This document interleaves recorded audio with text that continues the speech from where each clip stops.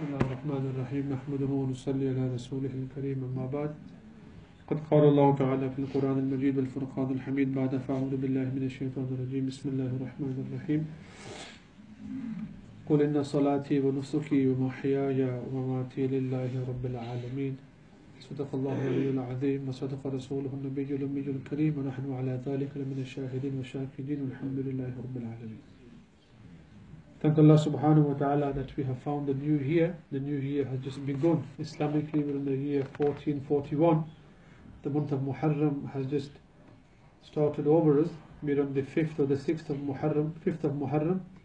So this also gives us a very important message that moments passing, whether in the form of seconds, minutes, hours, days, weeks, months, years, it is to remind us that one day the whole world is coming to an end the whole life is coming to an end. When the second passes by, then it becomes a minute, a minute passes by, it becomes an hour, an hour passes by, it becomes the day, a day passes by, it becomes a week, and so on and so forth until eventually one day our life will also finish. Let Allah make it easy for all of us. So this is something we learn when a new year starts. That the previous year, it came and it's gone. Just like now we are hearing 1441, the new year has started. But then soon we'll be hearing this year has also come to an end. That is why uh, Hazrat Imam Hassan al-Basri rahmatullahi and Hazrat Abu Darda, great Sahabi of Rasul sallallahu alayhi wasallam would say that Ibn Adam innama anta ayyam. That, O son of Adam, you are nothing but days. This is what you are made up from. You are days.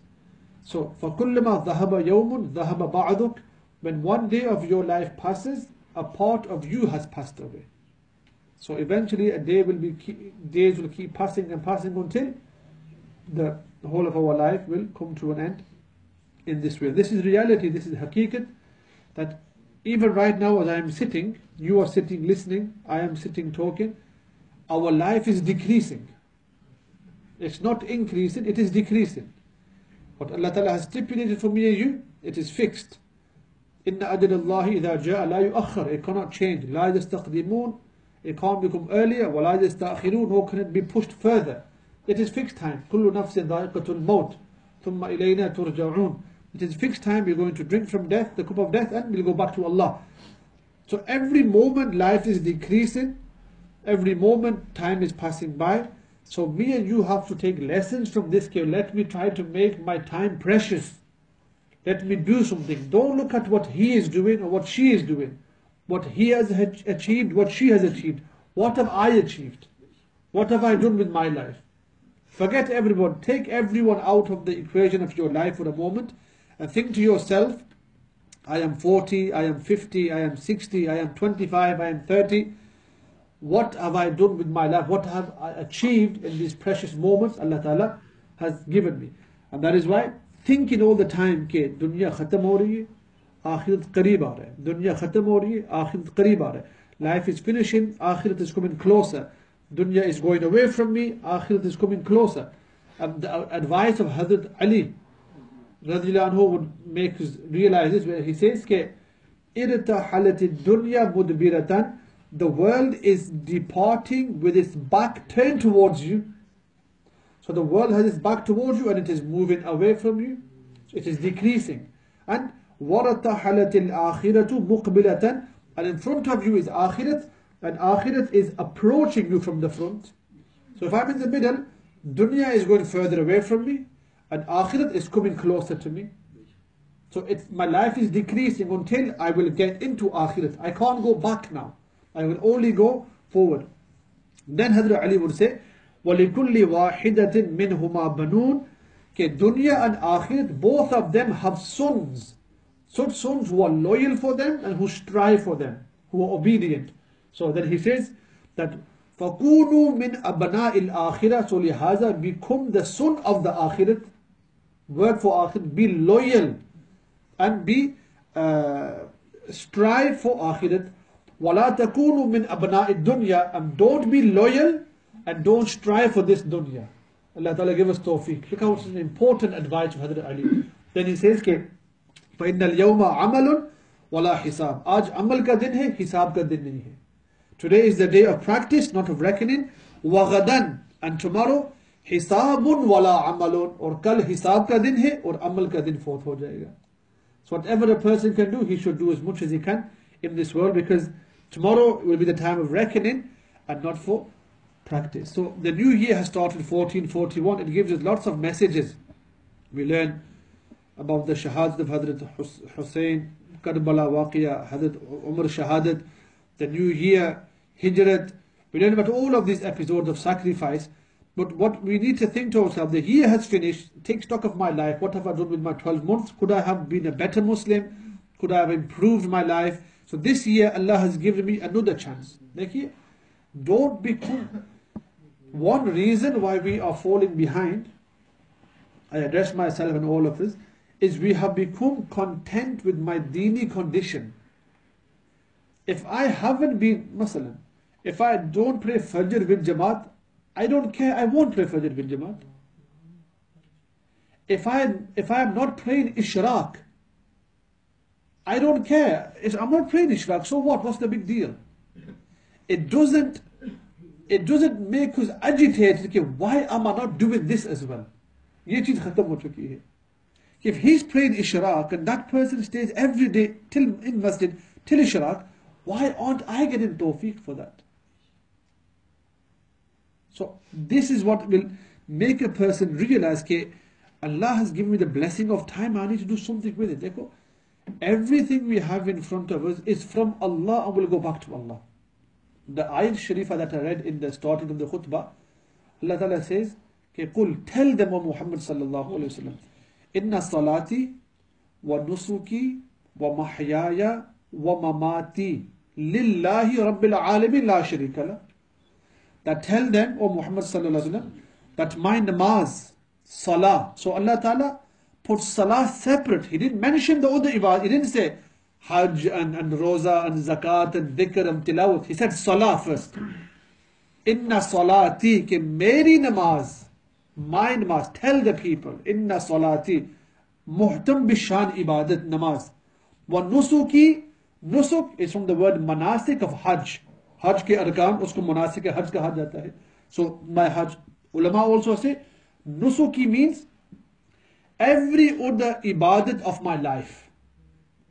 So namaz is separate and then every other ibadat of my life. And what is ibadat? Deen is a complete way of life. Deen is a complete way of life.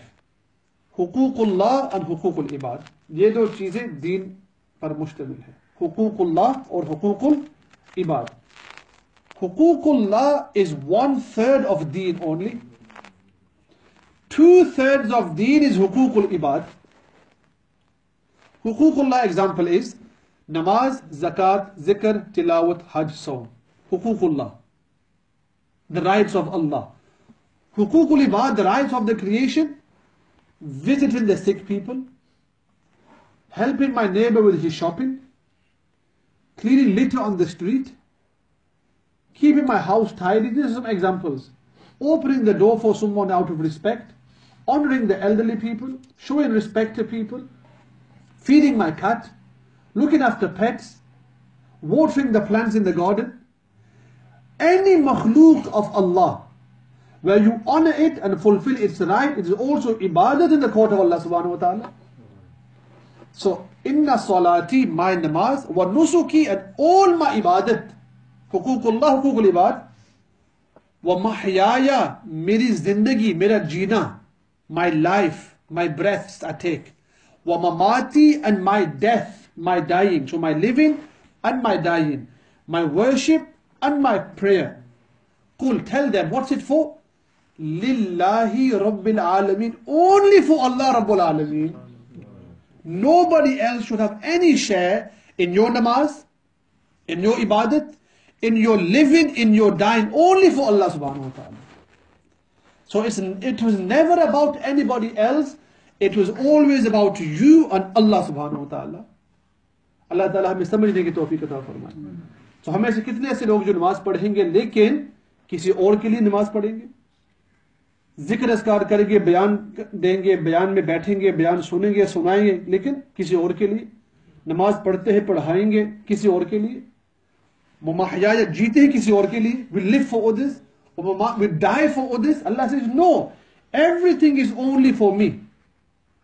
From this we learn two masail. Number one, that every action carried out only has to be for the pleasure of Allah subhanahu wa ta'ala. Nobody else. Nobody else has a right to be in a part of any action except Allah subhanahu wa ta'ala. And number two, we learn that life and death is the most valuable gift and life and death has to be devoted to Allah subhanahu wa ta'ala. It's only for Allah, nobody else. Varna, I can die today, you can die today. And if I didn't have my life on ita'at and obedience, I didn't die for Allah, I died for something else. So, what we realize is we have to we have to invest our valuable life in earning the pleasure of Allah subhanahu wa ta'ala at all times. Allah give us all of us tawfiq. So this is the peygam of the new year. Muharram has started. It is not, okay, some people say, oh, this is the month of mourning. This is the month where you can't have wedding. All nonsense. This is the month where you can't do dawat. All nonsense. Who dawat kuro? Do dawat. No one's going to stop you. Have a wedding. No one will stop you. Ye nahusat ka mahina hai. It is not nahusat mahina. So nothing to do with nahusat mahina. It is a new year, a blessed month. It is in the Ashur Haram, amongst the sacred months, where every day in Muharram, to keep one roza is equivalent to 30 days roza in Muharram. And then we have Ashura coming, the 10th of Muharram, which is falling on next Monday. یہ اگلے پیر کے دن یہ عاشورہ کا دن ہے جو سب سے پہلے یہاں پر روزہ رکھنا یہ فرض تھا پھر رمضان جب فرض ہوا تو یہ پھر مستحب سنت بن گیا عاشورہ کا دن یہ اگلے پیر کے دن آ رہا ہے تو فرمایا کہ عاشورہ سومو آشورہ حدیث کا حکم ہے کہ آشورہ کا دن روزہ رکھو، لیکن خالف المشرقین مشرقوں کے خلاف مخالفت کرو۔ تو سومو قبل یوم ایک دن اس سے پہلے روزہ رکھو۔ نویں تاریخ کو اور دسویں تاریخ کو یا سومو بعدہ یوم ایک دن اس کے بعد روزہ رکھو۔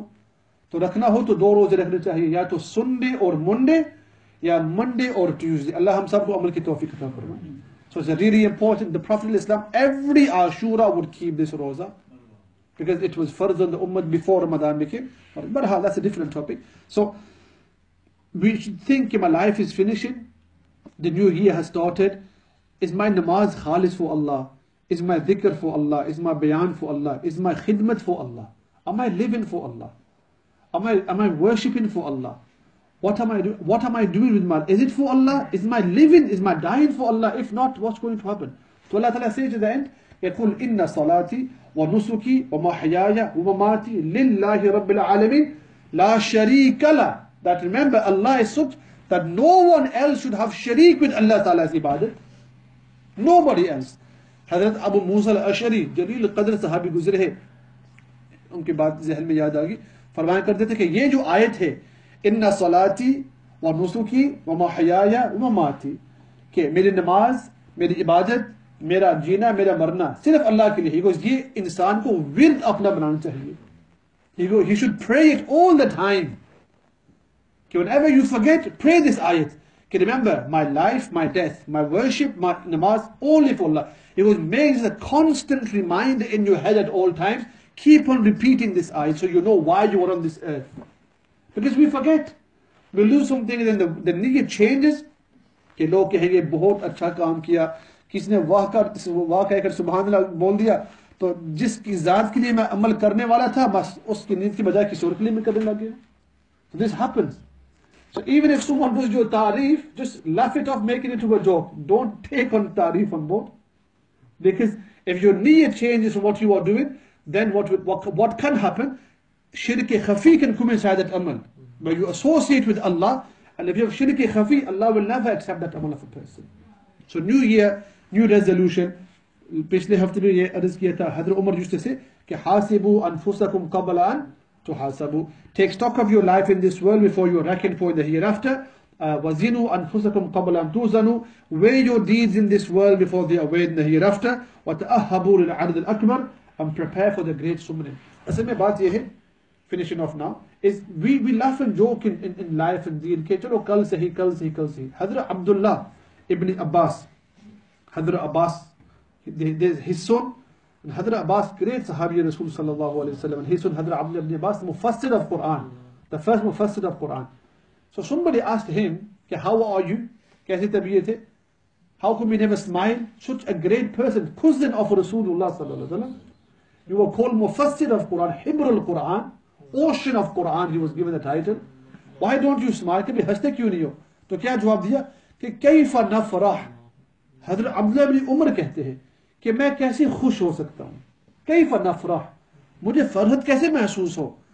والموت من ورائنا، موت میرے سلحانے کھڑے ہی کھڑی ہے، اور والقبر امامنا، میرے سامنے میری قبر ہے، اور والقیامت موعدنا، اور ہمارے وعدے کا دن، قیامت کا دن ہے وعلا جہنم طریقنا اور جہنم سے ہم نے گزرنا ہے پل سرات کے اوپر، اور وہ بین یدی اللہ ربنا موقفنا، اور اللہ تعالیٰ کے سامنے کھڑے ہو کر ہم نے حساب کتاب دینا ہے۔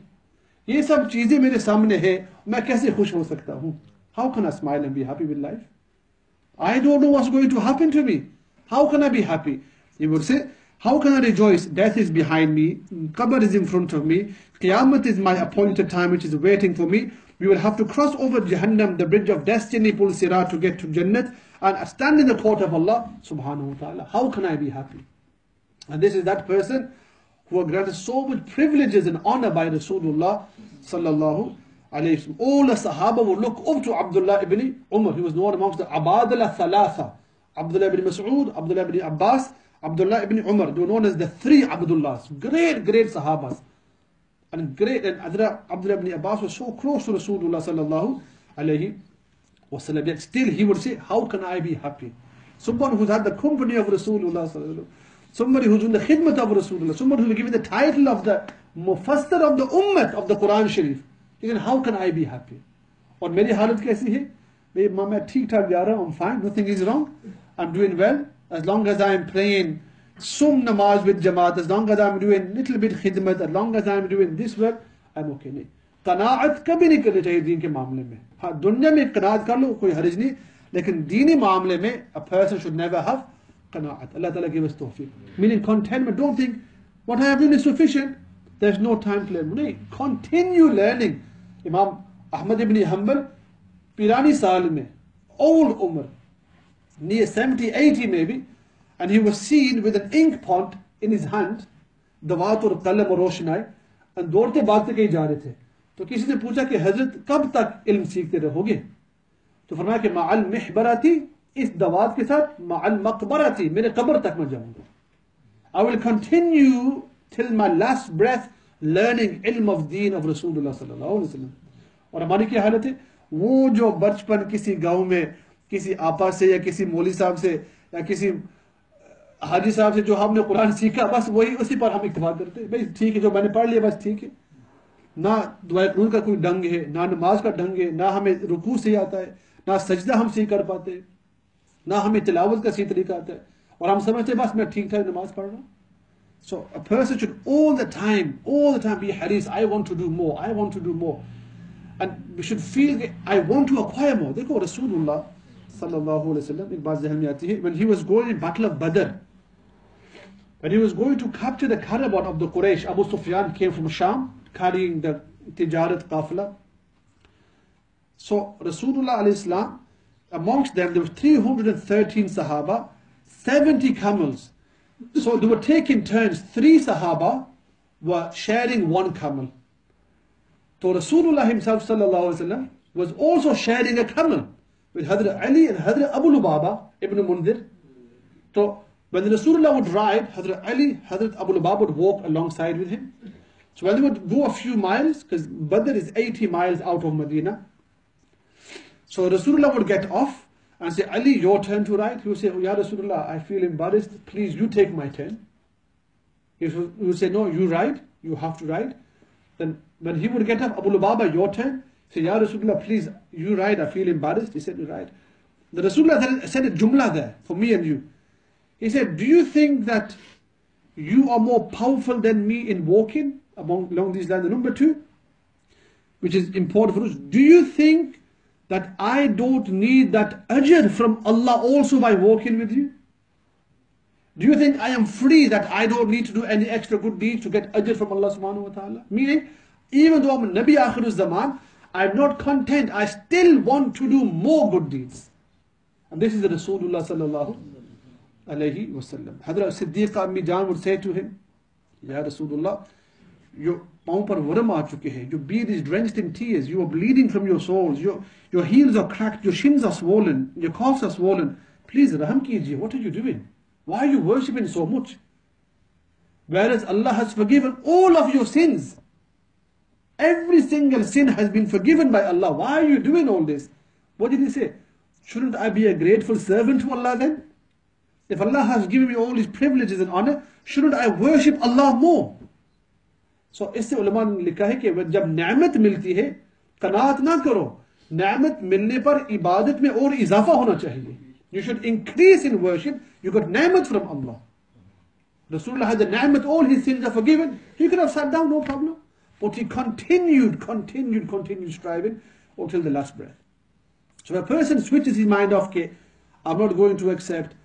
I don't want to accept, that person never gets hidayat. But a person is receptive and he thinks, no, I will, I want to try, I want to keep going, Allah will grant him hidayat. So Allah Ta'ala's rahmat will become mutawajjih towards us, Allah Ta'ala will give us tawfiq, and inshallah through that a person will make his life much better. There's still chance for everyone. Don't think uh, there's no hidayat for me, I can't acquire taqwa. We can acquire taqwa inshallah. This year I can acquire high levels of taqwa. if Kufar in Makkah, who are notorious enemy of Rasulullah sallam, if they could embrace Islam and acquire Hidayat, who are me and you?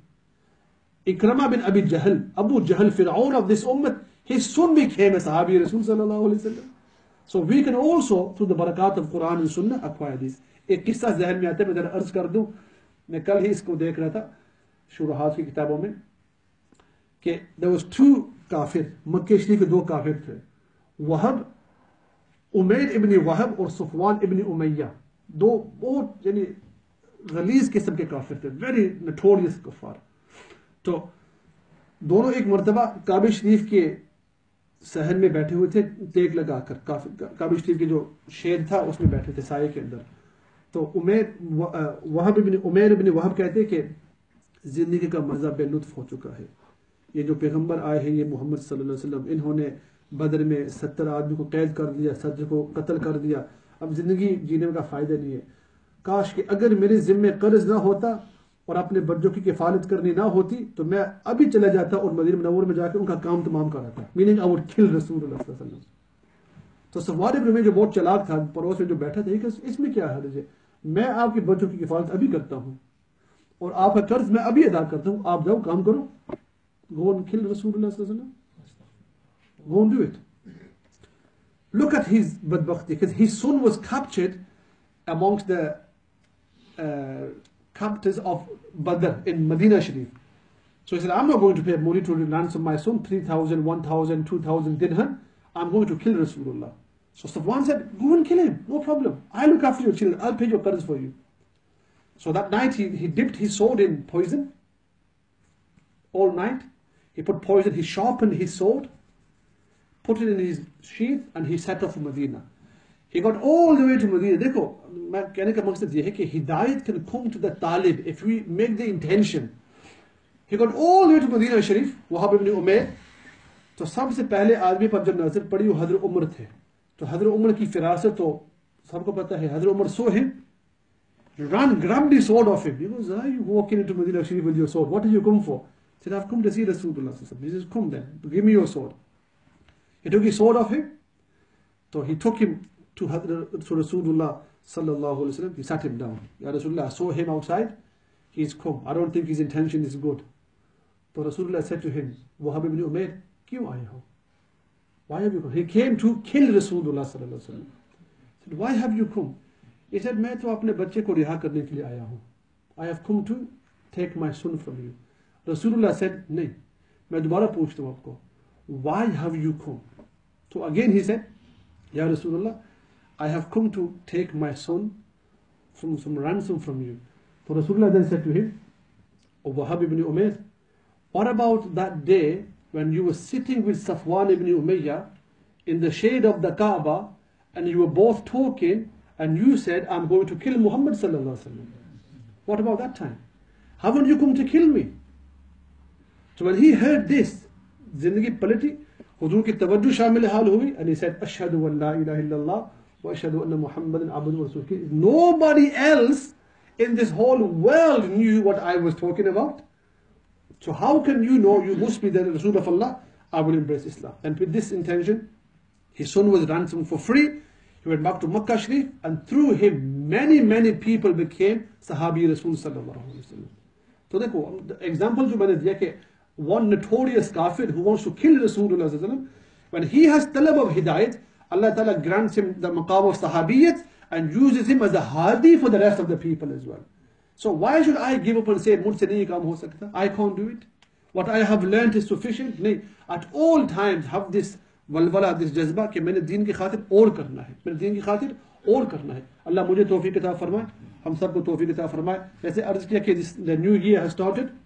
so we should do as much as we can for this the final hadith Rasulullah said sallallahu alayhi wasallam कि الكيس من دار نفسه وعمل لما بعد الموت the clever one is he who subjugates his nafs and works for what is to come after death so he works hard and he knows one day he's going to die so what is going to happen after death I want to enjoy that life so death is an obstacle between me you and the pleasures of Jannat so death is only a little hurdle once I cross this then I will enter into the the grace the bounties the grandeur, the magnificence uh, of Allah subhanahu wa ta'ala and the pleasure of Allah subhanahu wa ta'ala. So we make dua to Allah ta'ala that this new year that has started, it's been a few days, that we try our best to acquire the nur of taqwa inshallah.